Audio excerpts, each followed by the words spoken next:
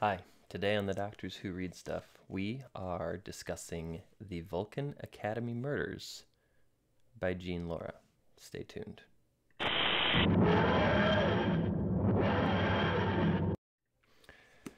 Okay, so in the last review, uh, we talked about the IDIC epidemic, and I mentioned that it was actually the sequel to another book by Jean Lorrah called The Vulcan Academy Murders. So I thought, since I referenced it quite a bit, uh, it might be a good idea to uh, actually talk about the first book in this series. So, in this one, uh, we are introduced to some of those characters that are so prominent in the following book. Um, but the book starts out with a battle with the Klingons and one of the Enterprise crew members becoming very gravely injured.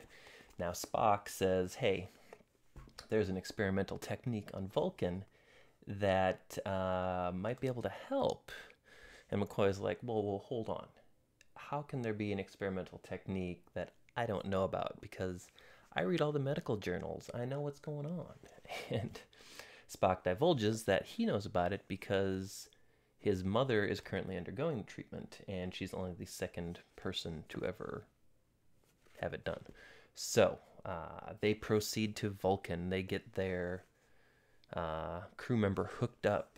Um, and then things start to go wrong. So, um, what I like about this book is that it deals a great deal with Vulcan the race, the planet, the culture, the society, uh, rituals. You know, we get we get everything.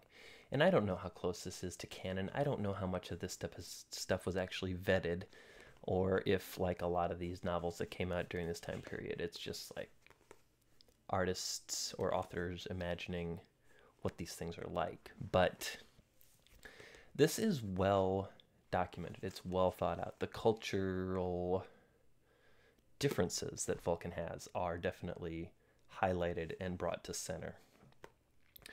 And it would not be a novel entitled The Vulcan Academy Murders without murder occurring. Now, the front of the book says Captain Kirk becomes an interplanetary homicide detective.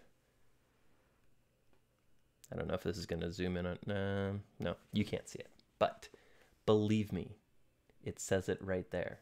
It's on the book. And I'm kind of amused by that. Um, for the record, this fit me a lot better the last time I wore it.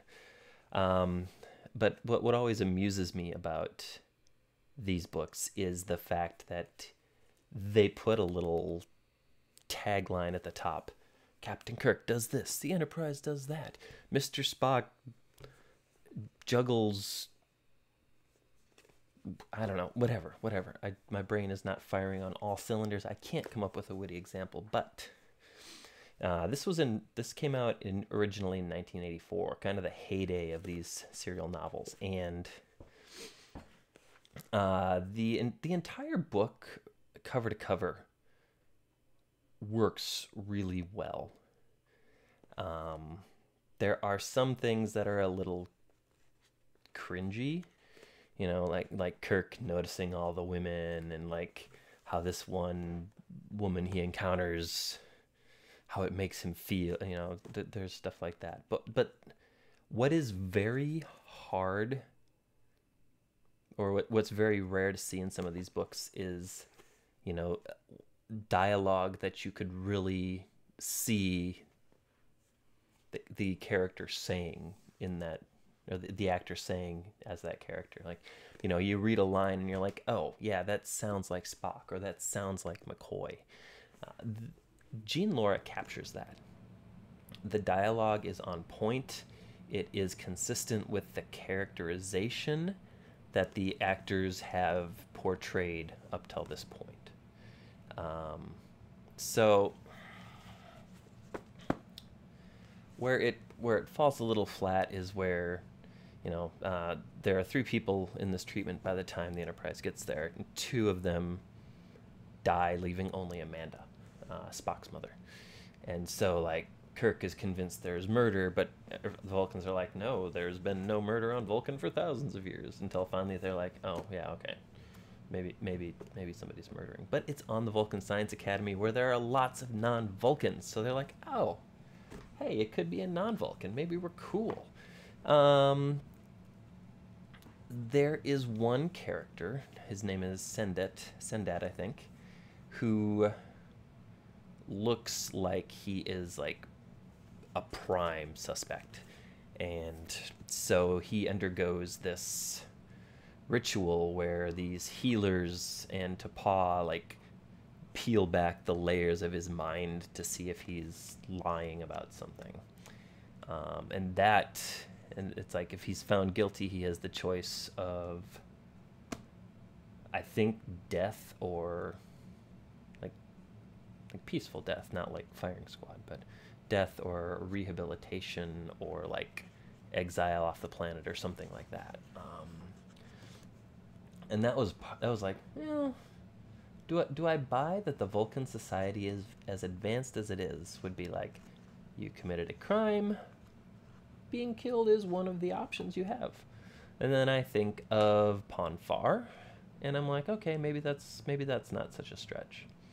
Um, anyway, Sendat was mentioned, was uh, featured in the IDIC epidemic as well, and I mentioned him last time. But this is where you're really introduced to him. This is where you're introduced to Dr. Corrigan and the healer Sorel, his daughter T'Mir. You know, some of those characters that were fleshed out very well in the IDIC epidemic uh, were featured prominently. Uh, this is where you first learn about them. This is where you start to take a shining to them. You start to understand them. You start to enjoy them. You want to know what's going on in their head and in their lives. And that's why I think it's important that this book be read before the IDIC epidemic. Now, certainly, since this is a serial novel from the 80s, we know, we know before we pick this up that the Enterprise prevails. Kirk comes out on top. The mystery is solved. The galaxy is saved. Everything is fine. It's just how we get there that's a little interesting. And I was, you know, I I read this book probably 25 or 30 years ago. It was one of my favorites. I probably have read this book five or six times. Uh, not in the last 20 years, but I've it, it has been read a lot. And I just I like the way the story unfolds. I mentioned a, a part fell flat for me, and that was where Kirk takes on, according to the cover, the role of the interplanetary homicide detective. You know, he's convinced that there's a murderer on Vulcan. The Vulcans don't have police to deal with it, so he takes it upon himself to go around and question people who might have a motive. And it's a little ham fisted, uh, I'm not to lie but it's such a small part of the book that I don't think it detracts from the overall enjoyment. So, in closing, this is a great book because you learn a lot about Vulcan society. This is a great book because you get to see a lot of the Sarek Spock relationship. You know, uh, Sarek being deeply sorry about how he's treated his son in the past and wants to make amends, but from his perspective, he sees Spock as putting up barriers and not opening up and not wanting to really go down that avenue. And I guess if you are Spock, do you, I mean, would you really blame him for that? I mean, he's kind of gotten the shaft from his dad for most of his life and so you would expect there to be some lasting repercussions of that behavior and of that handling, I guess. So it's interesting to see that dynamic explored. And I think again, it the book does it well. So in closing, this is a great book. This is a fun read. If you come across this somewhere, I suggest you give it a shot. Uh, it's probably not that expensive. You know, I think the price tag on the back of mine was two dollars and twenty five cents, and I I repurchased this within the last two years because I saw it somewhere and I was like, oh man, I remember this book. I want this book in my collection again. So here it is. Now, if you enjoyed this, I really hope you'll sound off in the comments. I really hope you'll hit the like button. If you really like it, I would love for you to subscribe. That would be great because we're going to be going through and we're going to be doing more of these short reviews. I'm going to be hitting a lot of Star Trek. Chip is going to be hitting some Star Wars and some other books as well. So we hope you'll stick around for that. Uh, thank you very much for watching, and we hope to see you next time. Have a good night.